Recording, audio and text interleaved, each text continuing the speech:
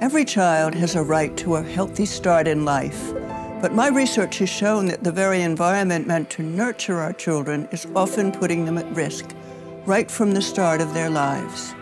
Today, I want to share the urgent need to protect pregnant mothers and their developing babies from environmental hazards, and why this must be at the heart of our climate and environmental action.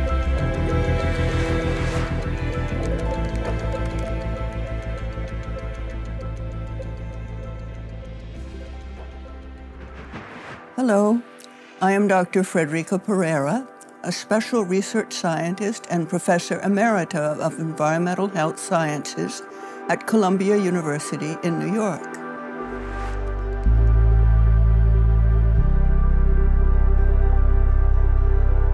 The scientific evidence is clear and compelling, as highlighted in the UNICEF brief that I helped review fragile beginnings, pregnant women and their developing fetuses are uniquely vulnerable to a wide range of environmental hazards. During pregnancy, rapid and intricate developmental processes occur, making the fetus highly sensitive to environmental exposures that can disrupt those processes. Exposure of babies before they are born to hazards like air pollution, contaminated water, pesticides, and the impacts of climate change can have devastating and long-lasting consequences on their health. In low and middle income countries, these threats are often amplified.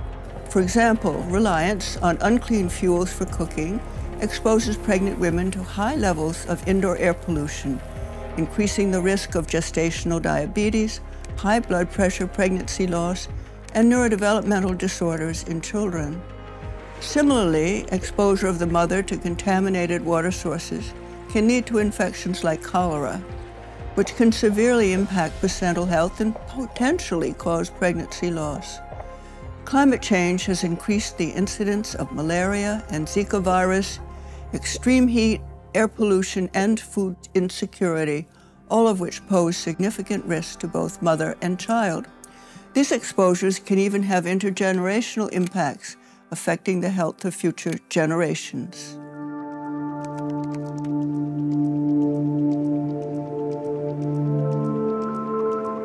Several factors contribute to this heightened vulnerability. Physiologically, pregnant women's bodies undergo significant changes, requiring greater food and fluid intake and increasing the rate of respiration and metabolism. These changes lead to greater absorption and retention of any harmful substances that are present in food, water, and air. Climate impacts such as drought reduce the availability of nutritious food and increase the cost. Undernutrition of the pregnant mother raises the risk of births that are preterm or low birth weight and of impaired brain development in the child. Pregnant women breathe in more air and therefore take in more air pollutants, which are harmful to both her health and the baby's. The chemicals in air pollution can enter a woman's circulation and then cross the placenta to reach the baby. The same is true for lead, arsenic, pesticides, chemicals in plastics, and tobacco smoke. Antenatal exposure to these toxicants increases the risk of adverse birth outcomes, as well as neurodevelopmental disorders, asthma, and other respiratory diseases in childhood. These early exposures can also program the child for long-term health problems, such as obesity, cognitive impairment, behavioral and learning problems. And they can also increase the risk of lung disease, cancer, and neurological disorders in later adulthood. A question many people ask is, how do these chemicals and pollutants reach the fetus? So here is a quick summary. During pregnancy, the placenta attaches to the wall of the uterus. It is connected to the baby by the umbilical cord through which the placenta provides oxygen and nutrients to the baby and removes waste products. Crucially, while vital for nourishing the fetus, the placenta allows many pollutants and toxic chemicals to cross from the mother to the developing baby. Some simply diffuse across the placenta, others are transported across.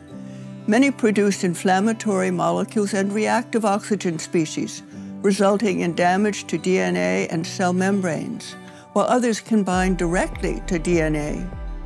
Stress experienced by the pregnant woman also results in inflammation and oxidative damage, getting under the skin of mothers and babies alike. The result can derail the complex processes involved in early development. For policymakers, the heightened vulnerability to environmental and climate threats during pregnancy and gestation is a critical concern because it impacts not only the immediate health of mothers and children, but also reduces the future human capital, the skills and knowledge essential to the economic productivity of the nation. Investing in the protection of pregnant women from environmental hazards is therefore an investment in a healthier and more prosperous future.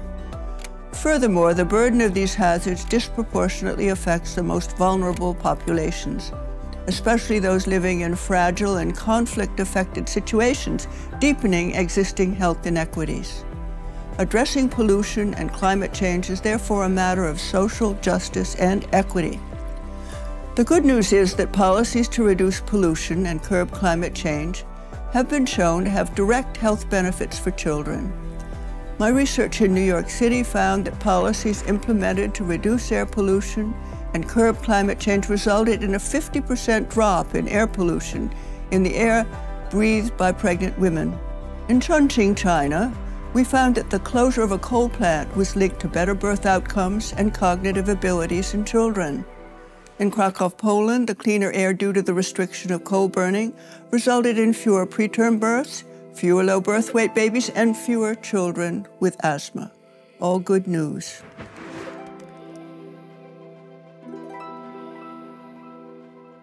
There are several key areas where policymakers can take impactful action. First, reduce pollution by implementing stricter regulations on industrial and transportation emissions and promoting cleaner cooking solutions to reduce air pollution. Ensuring access to safe drinking water and sanitation is also crucial to prevent waterborne diseases. Policies to manage pesticide use in agriculture and protect communities from exposure to toxic substances like lead and arsenic are also vital. Second, strengthen public health systems to protect pregnant women and babies from climate-related hazards and strengthen surveillance and support to pollution-related illnesses. Promoting climate-resilient agriculture to ensure food security for pregnant women is also critical. Third, invest in public awareness campaigns to educate communities and all frontline workers about environmental risks during pregnancy and empower them to take protective measures. That is crucial. Finally, collaboration. There must be a commitment to centering the health of pregnant women and their babies in all climate and environmental policies.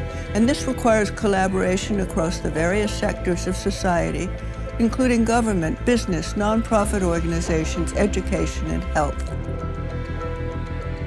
Prevention must always be our priority because every child deserves the chance to thrive and fulfill their greatest potential.